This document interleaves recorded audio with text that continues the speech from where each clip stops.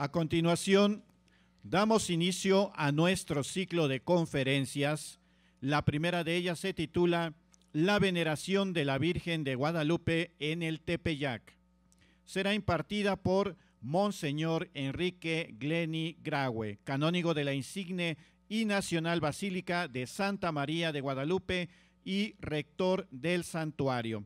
A continuación, me voy a permitir leer una breve parte de su extenso currículum. Monseñor Enrique Glenny Graue nace en la Ciudad de México. Estudia durante su infancia en el Colegio Latino Mexicano de Influencia Marista. Ingresa al Seminario Conciliar de México.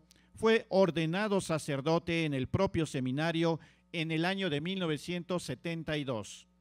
Estudió en Roma la licenciatura y posteriormente el doctorado en teología con especialización en espiritualidad en la Pontificia Universidad Gregoriana.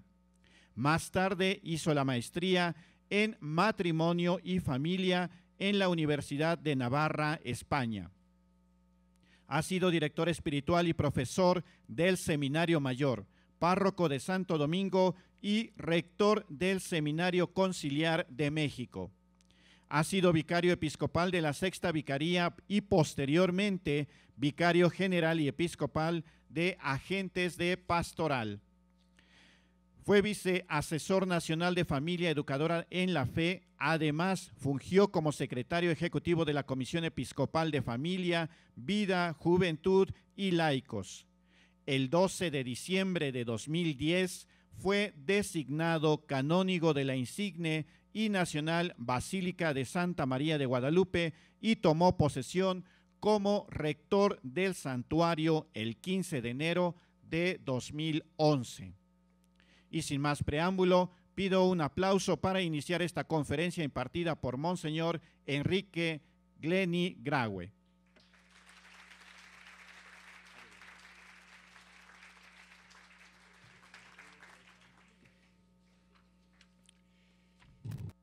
Gracias.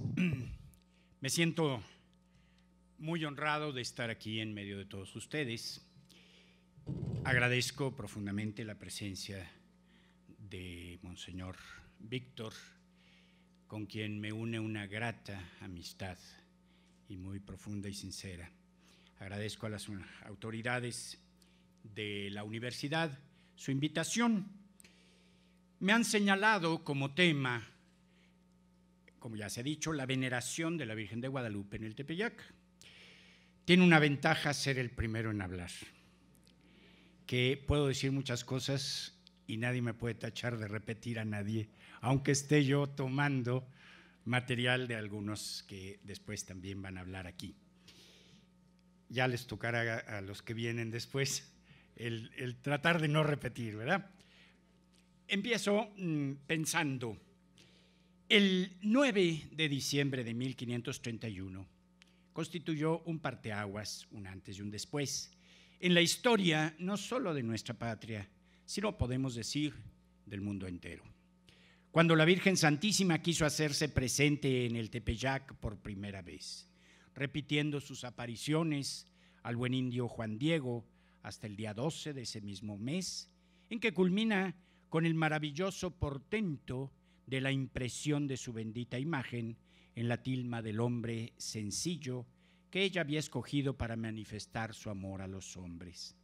Este ha sido, por encima de cualquier otro suceso, el Huaytlamahuitzoltica, el gran acontecimiento, como le llamaron, que ha marcado con sello indeleble la historia de México hasta nuestros días.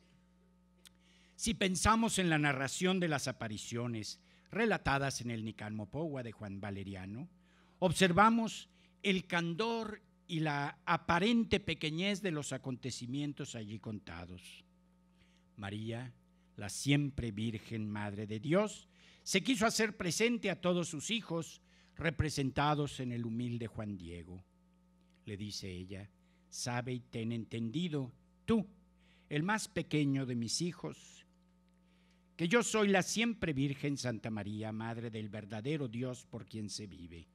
Del Creador cabe quien está todo, Señor del cielo y de la tierra.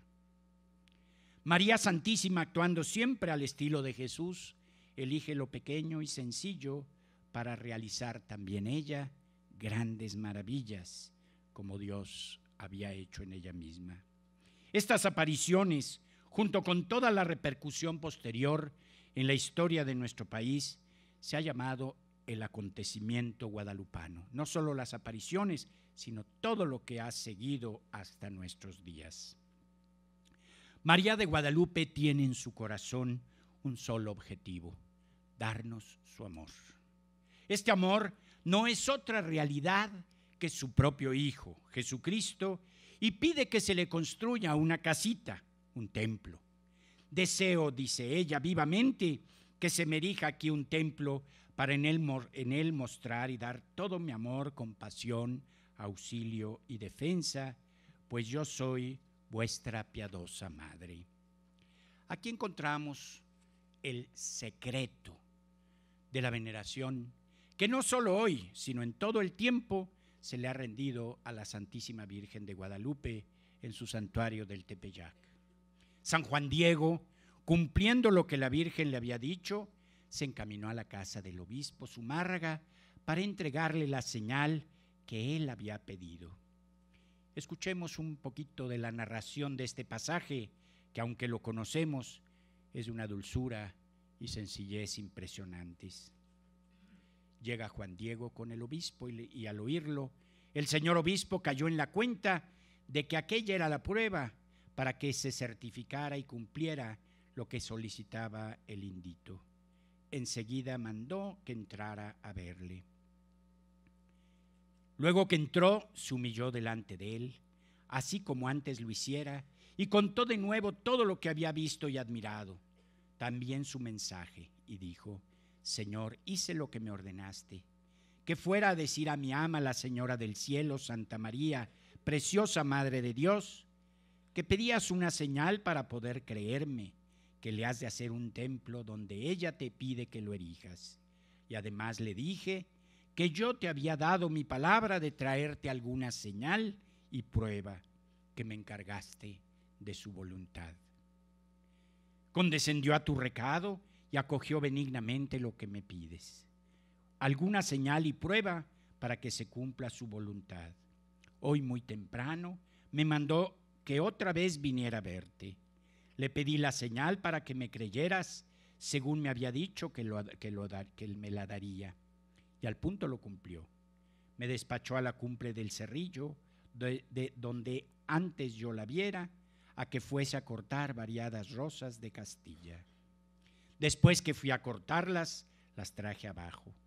Las cogió con su mano y de nuevo las echó en mi regazo para que te las trajera y a ti en persona te las diera.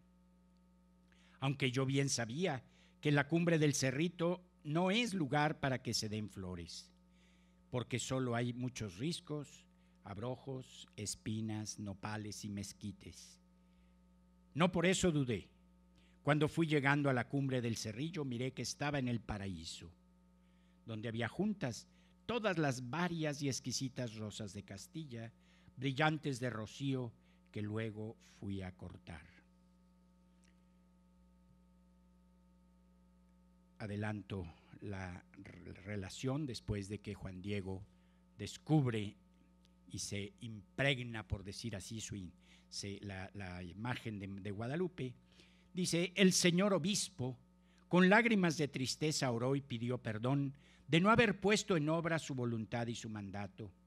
Cuando se puso de pie, desató del cuello de Juan Diego, del que estaba atada, la manta en que se dibujó y apareció la Señora del Cielo. Luego la llevó y fue a ponerla en su oratorio. Un día más permaneció Juan Diego en la casa del obispo que aún le detuvo. Al día siguiente le dijo, Ea, a mostrar dónde es voluntad de la Señora del Cielo que se le erija su templo. Es interesante, muy interesante, que en la narración del Nicanmopogua, la Virgen no hace declaraciones especiales, ni anuncia profecías. muchas veces en las supuestas apariciones de otros lados, hay hasta amenazas que supuestamente dice la Virgen. No hay nada por el estilo. Simplemente María se limita a pedir un templo. Es lo único. Un templo para en él mostrar y dar todo mi amor, compasión, auxilio y defensa. De ahí que el templo del Tepeyac, en el que ha estado la preciosa imagen de María de Guadalupe, ha sido desde entonces un lugar privilegiado e importante que se encuentra más que nada en el corazón de todos los que aman a la Santísima Virgen. De allí el significado tan especial que tiene el lugar santo del Tepeyac como lugar de encuentro y veneración de la Virgen de Guadalupe.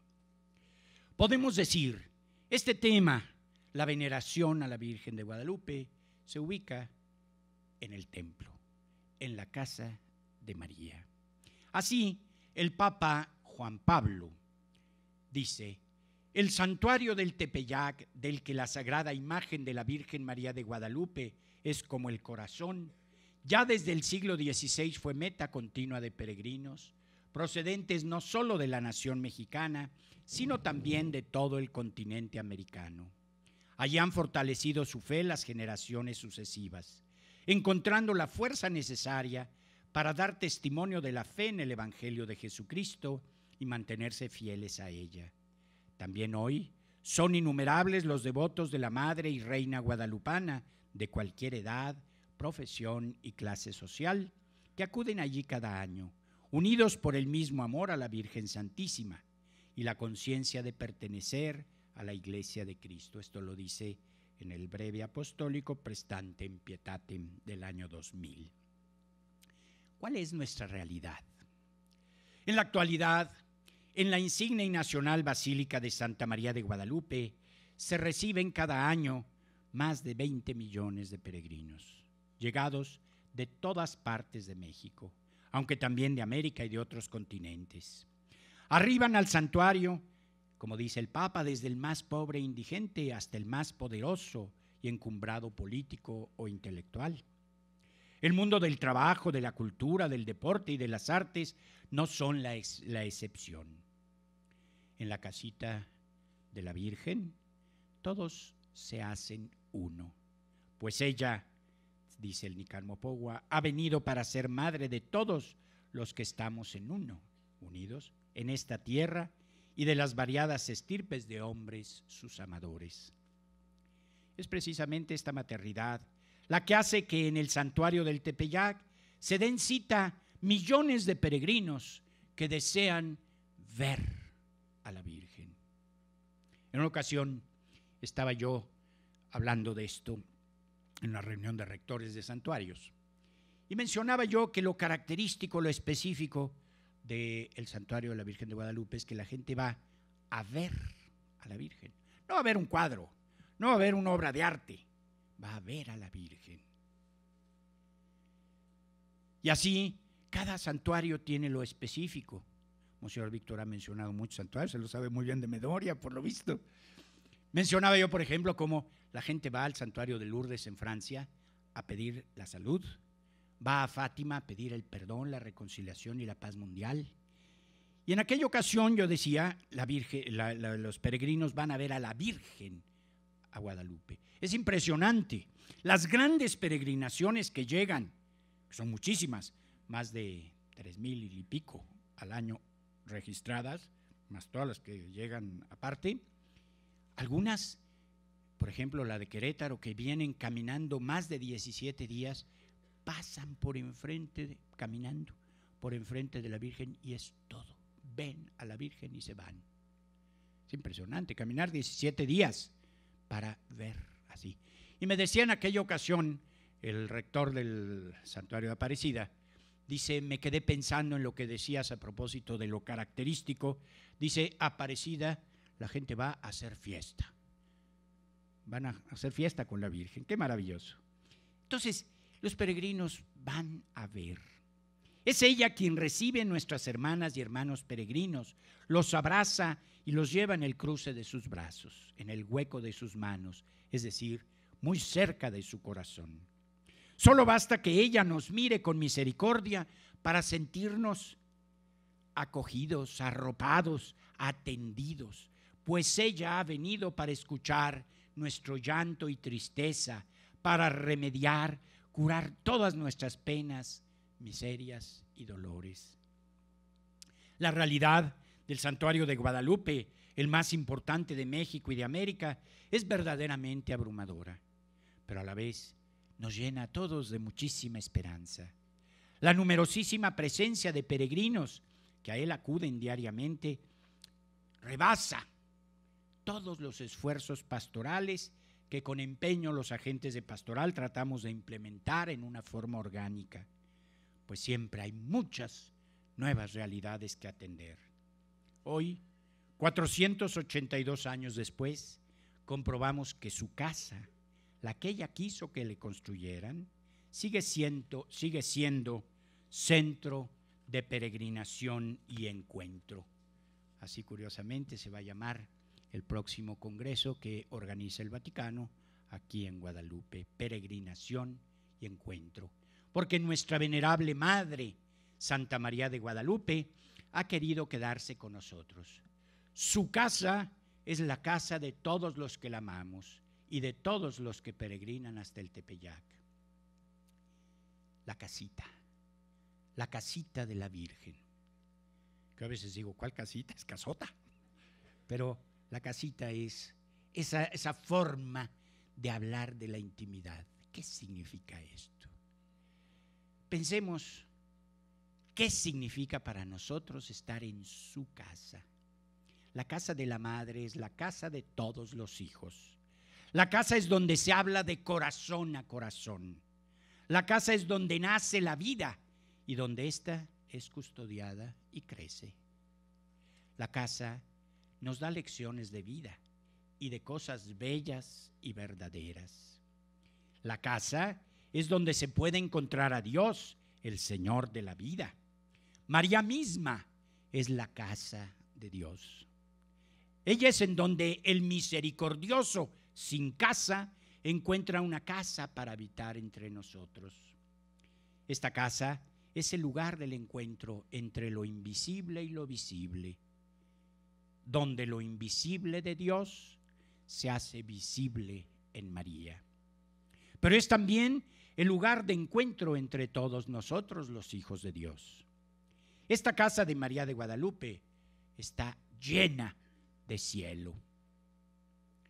Ante la inusitada iniciativa de María de venir a visitarnos y quedarse con nosotros en el Tepeyac, cada uno constatamos que se repite el acontecimiento de la visita de María a la casa de su prima Isabel.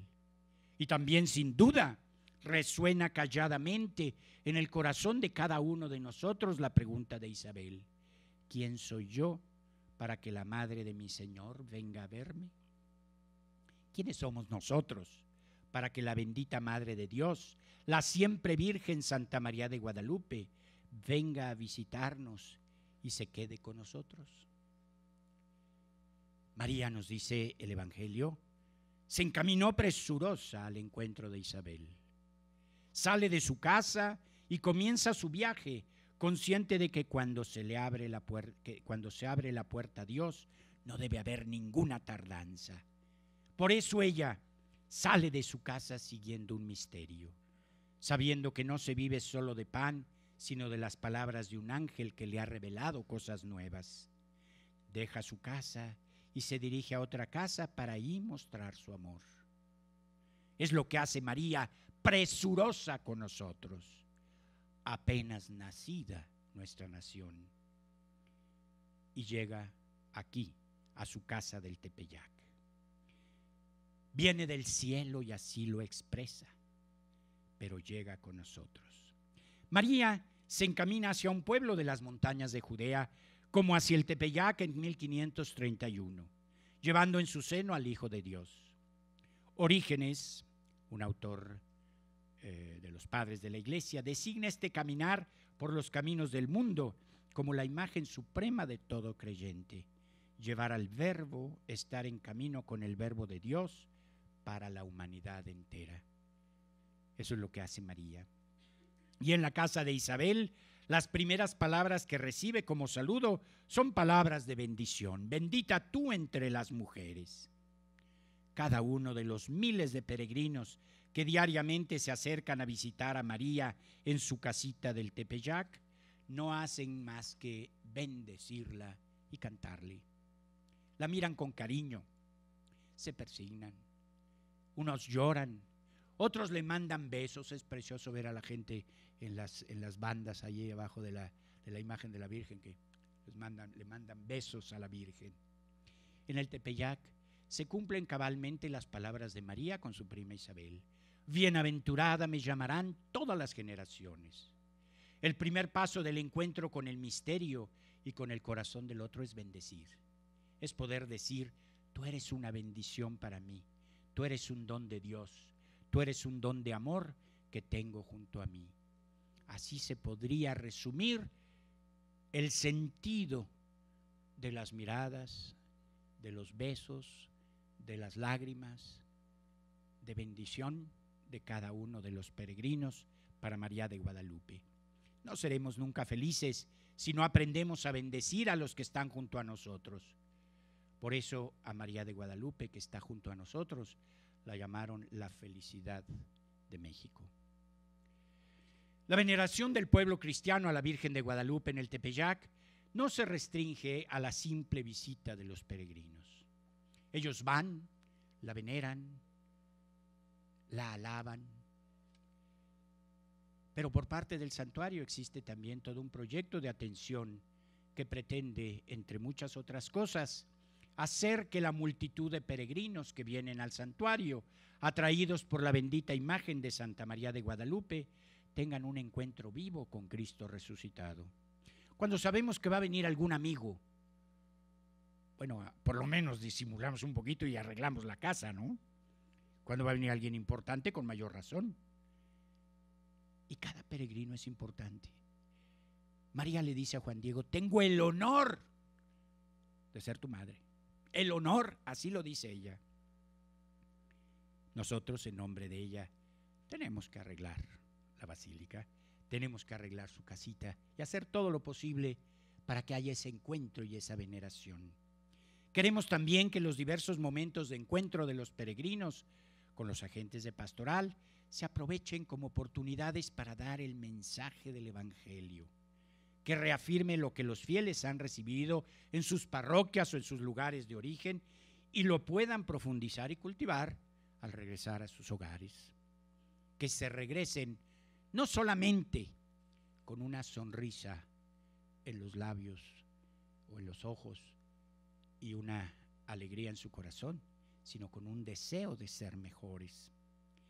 Queremos establecer algunos servicios, continuar estableciendo servicios caritativos en la atención a los peregrinos, por los cuales ellos descubran la actitud caritativa de la comunión eclesial y esto mismo tenga un mensaje cristiano.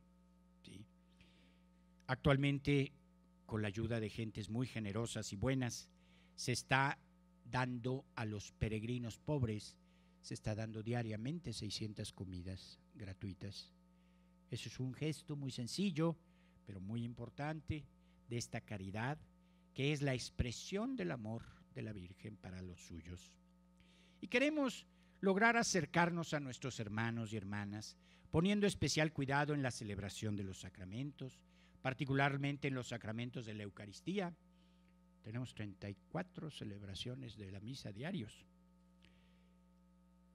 La reconciliación, aproximadamente 800 mil penitentes al año. No nos damos abasto por más que quisiéramos. Y celebraciones del bautismo. Hay aproximadamente 450, si no es que más, eh, bautizos semanales en el bautisterio. Desde luego, hay que prestar una especial atención en la celebración de los sacramentales, como son las bendiciones, así como las diversas y ricas formas de expresión de la religiosidad popular.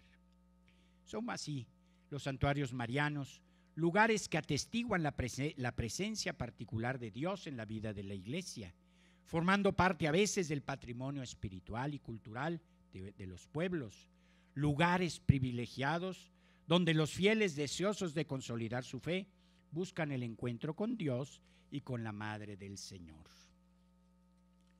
¿Qué podemos decir del fenómeno guadalupano hoy? En esta parte tomo una presentación de la doctora Ana Rita eh, Valero de Lascurain. En una presentación que hizo ella, vendrá mañana a hablar también. Hay analistas que ven la, la Iglesia de México francamente fortalecida después de muchos años de persecución, situación que se atribuye a varios factores, entre otros menciona las visitas del Beato Juan Pablo II, que tanta huella dejaron en nuestro pueblo mexicano. Y si bien es cierto que la Iglesia enfrenta hoy problemas muy complejos, también hay que aceptar que dentro del juego de fuerzas que inciden en el México contemporáneo, el papel de la Iglesia se ha apuntalado, se ha afianzado, al punto de que su voz se oye con una fuerza que no había tenido sino hasta muy recientemente. A la luz de estas reflexiones y buscando los elementos profundos de este proceso, uno no puede menos que preguntarse en qué medida la presencia de la Virgen de Guadalupe ha revitalizado a la iglesia contemporánea. No es difícil pensar que la Señora de Guadalupe, con toda la rica complejidad que la acompaña, es quien le ha dado la vuelta a la historia. Lo que se comprueba al ver que en un mundo plenamente secularizado, México vive hoy una religiosidad fuertemente impulsada por la Virgen de Guadalupe y que responde al poder de convocatoria del mensaje guadalupano. Parte importante de esta respuesta se canaliza a través de las peregrinaciones, que se han convertido en un medio de expresión muy importante y verdaderamente avasallador.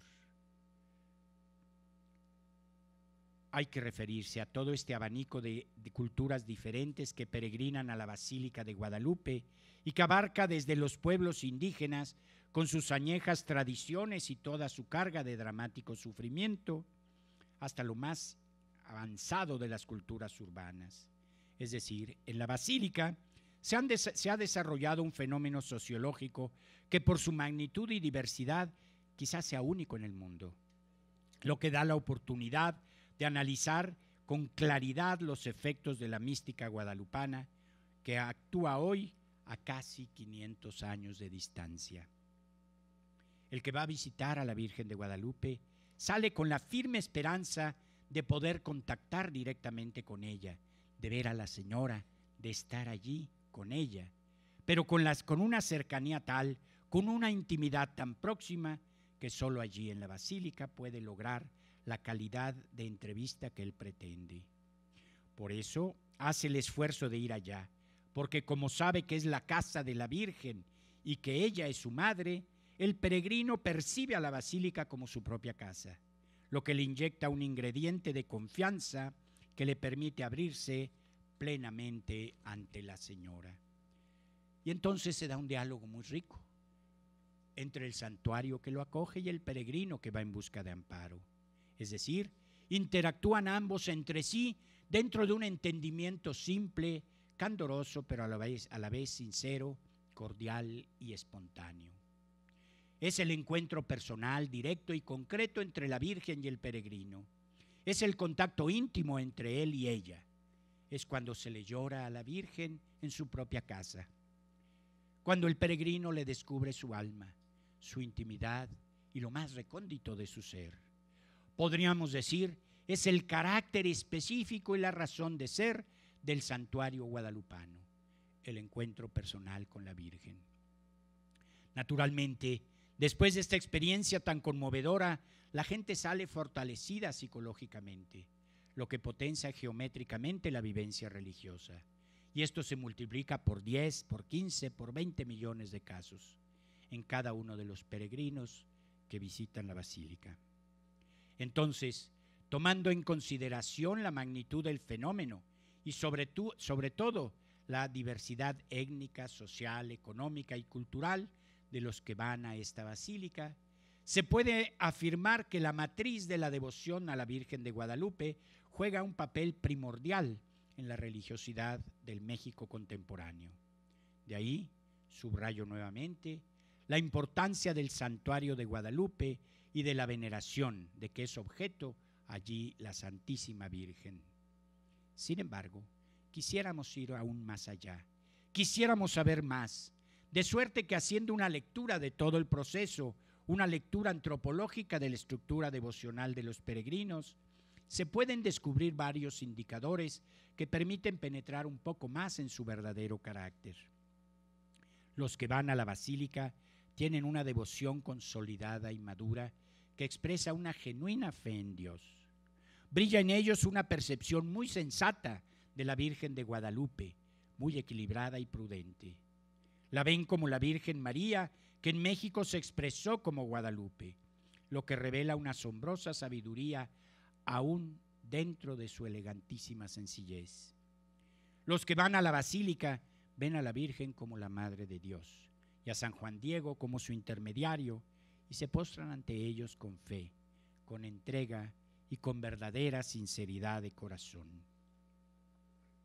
Este santuario, como muchos otros, además de su innegable valor religioso, posee un bagaje histórico y cultural, por lo que además de la fundamental visita de los peregrinos para ver a la Santísima Virgen de Guadalupe, se tiene en cuenta la necesidad de ofrecer otras alternativas para los peregrinos, compuestas por elementos de arte sacro, de temas religiosos y arte popular, e inclusive de asistencia hospitalaria y alimenticia. Bajo el mismo esquema anterior, considerando los temas de historia del arte y temas religiosos, se pueden sumar diferentes expresiones culturales, como son conciertos de música, exposiciones pictóricas, congresos, obras de teatro y obras de arte visuales, generando con ello espacios de expresión alterna y dando valor agregado a la dimensión prioritariamente religiosa de los visitantes.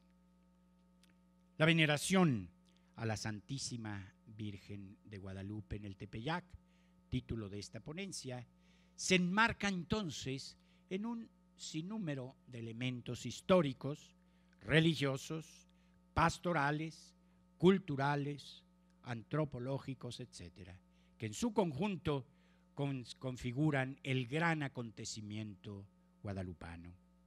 Este gran acontecimiento, Huizoltica, no se circunscribe al área física del Tepeyac, sino que, desbordando sus fronteras, se proyecta con una fuerza inusitada a todo el mundo.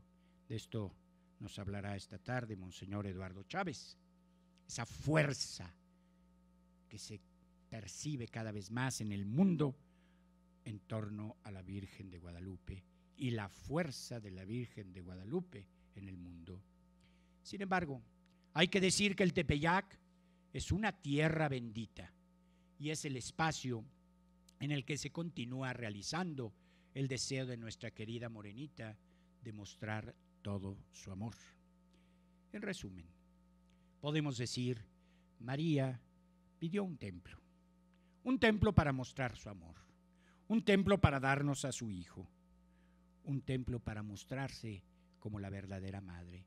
La respuesta del peregrino, la respuesta del cristiano, no se hace esperar y continúa manifestándose en forma de devoción, de veneración a la que reconoce como su madre y a la que llama con cariño morenita. El gran amor de María es Jesús, su Hijo amado. De ahí que el gran proyecto guadalupano es en realidad el proyecto cristiano de la evangelización, definida por el muy querido Papa Juan Pablo II, que habrá de ser canonizado en unos meses como una evangelización perfecta inculturizada. El santuario basílica de Nuestra Señora de Guadalupe en el Tepeyac es el espacio físico en el que, a través de la veneración a Santa María de Guadalupe, ella sigue mostrando todo su amor a quienes con devoción se acercan a Jesús a través de ella, María de Guadalupe. Para terminar, quiero expresar mi agradecimiento nuevamente a las autoridades de la Universidad Popular Autónoma del Estado de Puebla y al Centro de Estudios Guadalupanos UPAEP por su amable invitación para participar en este primer encuentro guadalupano. Pido para todos una especial bendición de nuestro Padre Dios a través de la intercesión de nuestra bendita Madre, Santa María de Guadalupe. Muchas gracias.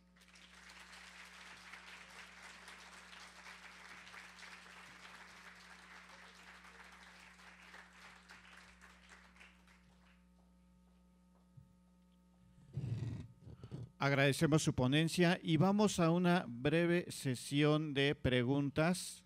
Eh, no sé si alguien... Eh,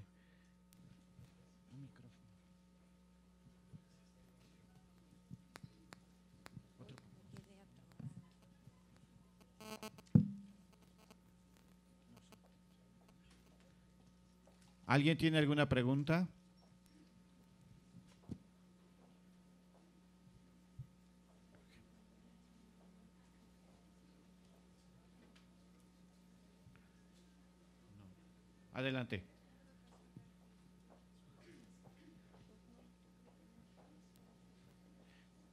Hablar de la presencia viva de María. Y no es una pintura, es la presencia de María. Por lo tanto, es la presencia de Jesús. ¿Por qué no promover eso? La presencia viva de María y la presencia viva de Jesús en el santuario. ¿Por qué no ser, no ser tan descarados en eso? O sea, está ahí María, está presente, no es una pintura, es un milagro. ¿Por qué no ser más descarados en la evangelización con eso? Bueno, yo creo que eso es lo que estamos siempre diciendo allí. La gente no va a un museo. La Virgen de Guadalupe no es una pieza de arte, es bellísima pero no es una pieza de arte, no es una pieza de museo. La forma como se estampa o se imprime, como se quiera decir, la, su sagrada imagen, es un misterio, es un milagro que ya de suyo nos habla, como mencionaba yo hace un rato, de lo visible de lo invisible. ¿sí? El encuentro entre Dios y nosotros a través de María. Y entonces podemos decir que efectivamente, así como Dios quiso hacerse hombre y, por medio de María, aquí también se hace presente por medio de María para nosotros. Ese es el mensaje que damos. Y creo yo, sin temor a equivocarme, de que a pesar de que muchas veces descubrimos en muchas de las gentes que visitan la basílica una grande ignorancia, sobre todo del acontecimiento y del significado y de la profundidad de este misterio. Sin embargo, sin temor a equivocarme, puedo decir que en la mayoría de los casos, y son la mayoría, de veras, la gente, los que van, van porque saben lo que hay ahí, ¿no? Es decir, que ahí está esa presencia misteriosa de Dios, de Jesús, que ella nos lo da, es lo que viene a, a decirnos. Monseñor Eduardo Chávez menciona y subraya muchísimo esta idea. No, no se trata de, de, que María viene a darnos solo su amor, nos quiere mucho, no. Nos viene a darnos su amor persona, ni siquiera personal, sino persona. Y su amor persona es Jesús. Es a quien ella nos, nos trae, ¿no? Entonces, por eso mencionaba yo hace un momento que el acontecimiento guadalupano se puede considerar, y así lo dijo también el Santo Padre, una verdadera evangelización, es decir, una transmisión del mensaje evangélico que es Jesús. Sí. Eh, nosotros tenemos que insistir mucho en eso, desde luego lo hacemos, ¿no? Pero no, no, no es que lo ocultemos o nada, porque el estarlo ocultando sería estar engañando a la, gente, ¿no? Es como si, imagínense, que en lugar de la imagen auténtica eh, que todas las gentes pueden ver al pasar por enfrente de abajo en las bandas donde está la imagen de la Virgen, tuviéramos un cuadro diferente o tuviéramos una, una réplica No, no es ninguna réplica. Es decir, eh, estaríamos engañando a la gente. A la gente le tenemos que decir que ella es María, que en alguna forma misteriosa, y eso se siente, quienes han tenido, hemos tenido la experiencia maravillosa de estar cerquita de, de la imagen de la Virgen, cerquita tocándola prácticamente, sentimos esa experiencia. Ella está ahí, allí está presente, y con ella su hijo. ¿verdad? Entonces, es el mensaje. Y este, este ha sido pues la conciencia que también nosotros tenemos en la basílica, de verdad, de que eh, tenemos que anunciar, tenemos que eh, recordar continuamente esta gran verdad, que en fin de cuentas es lo fundamental del acontecimiento guadalupano.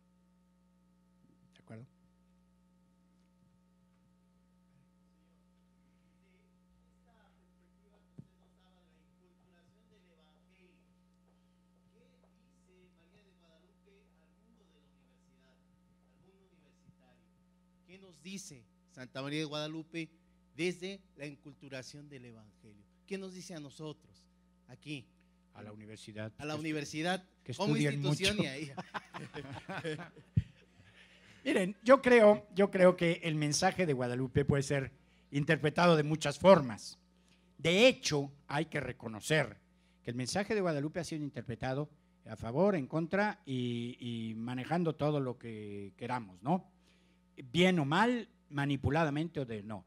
Pero yo creo que el mensaje, el mensaje de la Virgen de Guadalupe, es decir, la Virgen de Guadalupe no tiene un mensaje para los médicos, un mensaje para los arquitectos, un mensaje para las universidades, para el poder civil, etcétera. El mensaje de María de Guadalupe se inscribe dentro de la tónica del Evangelio. ¿sí? Se inscribe dentro de la donación del amor y de la presencia de Dios en medio de nosotros. ¿Qué es lo que pide el Evangelio? ¿Qué es lo que María misma nos dice? Hagan lo que Él dice.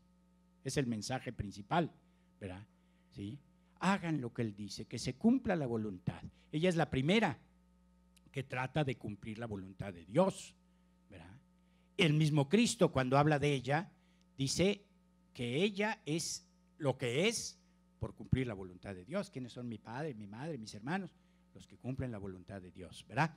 Entonces, yo creo que el mensaje de Guadalupe, estando acorde con el Evangelio, estando acorde con, con todos los elementos fundamentales, todos los valores que incluye, valores humanos y cristianos, por supuesto, que incluye el mensaje de la evangelización, sabiendo que la evangelización tiene que llegar a cada una de las mentalidades, a cada una de las culturas, ¿verdad? Cuando hablamos de la universidad eh, podemos hablar de la universal eh, forma de culturas, ¿no? Entonces ahí caben muchísimas, muchísimas, eh, eh, diríamos, interpretaciones de esto mismo. No porque haya, repito, una, eh, un mensaje especial para unos u otros, no, sino que cada uno tenemos que recoger ese universo de elementos que tenemos que traducir después pues, en una actitud también de, de evangelización, de vivencia, de fe, ¿sí? y que eso impregne todos y cada uno de nuestros trabajos y de nuestros empeños, ¿no? Creo que por ahí iría la cosa. No sé, a lo mejor me estoy saliendo un poquito por la tangente, puede parecer así, pero en realidad, digo, yo no he leído en el Nican Mopogua que eh, la Virgen le haya hablado a Juan Diego de la Universidad de tal o cual, ¿no? no, estoy haciendo un poquito de broma, pero yo creo que cada quien debe de saber, con un espíritu verdaderamente abierto y de fe, encontrar el mensaje del Evangelio. Cuando se habla, por ejemplo, de eh, universidades de inspiración cristiana, ¿qué significa? Pues que el Evangelio es el que, el que se toma como criterio en general de todo. Pero el Evangelio no habla ni, ni de historia, ni de civismo, ni de geografía, ni de matemáticas, ¿sí? En ese sentido. De este lado, por favor.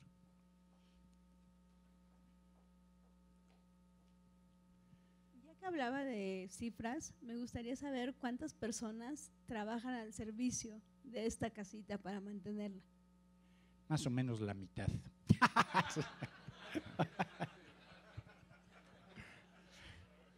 en alguna ocasión le preguntaron al Papa Juan XXIII que cuántos trabajaron en el Vaticano, dice más o menos la mitad. Así, ¿no? No, la verdad hay que decir que tenemos, tenemos eh, un grupo numeroso de personas que a todos los niveles trabajan en la basílica. Eh, son admirables. Yo veo el empeño, el trabajo o la, la, calidad y el cariño con el que trabajan las gentes, aún las más humildes. Tenemos aproximadamente un poquito menos de 400 personas en la basílica. Y ahí pues incluimos todos. Eh, en la basílica estamos 39 sacerdotes y dos diáconos. Aquí entre los sacerdotes contamos también sacerdotes ya ancianos, algunos de ellos enfermos, que pues ya están pues eh, prácticamente sin, sin poder hacer muchas cosas, ¿no? Más que rezar por todos los demás, que eso espero que sí lo hagan todos ellos. Estamos 39, entre los canónigos, los sacerdotes, etcétera. En la basílica hay, eh, repito, como unos cuatro, un poquito menos de 400 empleados, me refiero aparte de los sacerdotes desde los que están en mantenimiento, limpieza, en, eh, eh, en, administración, en la pequeña tienda, etcétera, etcétera. Todas las tareas, imaginen la cantidad de tareas que hay que realizar, físicas me refiero, en la basílica, plomeros, carpinteros, albañiles, eh, de todo, ¿no? Entonces, tenemos aproximadamente 400 personas y el personal administrativo, ¿verdad? Que también pues, es importante, es necesario para llevar pues, en, eh, bien la, basílica. También eh, podemos decir, por ejemplo, tenemos una serie de servicios para nuestra propia gente. Ya mencionaba yo los, eh, las comidas que se dan a los peregrinos, pero también a todo nuestro personal se le da de comer todos los días, excepto el domingo, todos los días ahí en la basílica. ¿sí? Eh, cada uno compra un, como tésera, una cosita así, que les van sellando, les van eh, controlando, que les cuesta 125 pesos al mes. Y con eso comen todo el mes. Entonces, pues, es un servicio que se les está, se les está dando, ¿no? Pero independientemente de eso, lo más interesante es exactamente el cariño con lo que la gente trabaja. Es bonito ver cómo la gente llega y lo primero que hace es saludar a la Virgen igual. Así sea el que limpia como el, el que construye como quien sea, ¿no? Entonces, hasta el rector hace eso. en la mañana cuando llego, ¿verdad? Entonces, este, sí tenemos aproximadamente ese, ese, número de personas. Es como una pequeña ciudad. Está el museo, eh, ¿verdad? Está ahora también todo el proyecto de la Plaza Mariana, está este, pues, la, la, Basílica Antigua, etcétera. Hay muchas, muchas, muchas cosas que hay que estar continuamente, seguridad, por supuesto, estar eh, atendiendo. Buenas tardes. Otra pregunta. Eh, usted que está ahí dentro de la institución, eh, ¿cuáles han sido los últimos, quiénes están estudiando actualmente a la Virgen y qué se ha descubierto de ella? Desde el punto de vista científico, sí. Bueno, Actualmente no se están haciendo así oficialmente estudios. Mucha gente quisiera que eh, se hicieran estudios así como eh, muy eh, lo último que, ha pasado, ¿verdad? De, la, de, la, técnica, etcétera, que se le hagan estudios de esta naturaleza a la imagen de la Virgen. Hay que tener en cuenta un dato.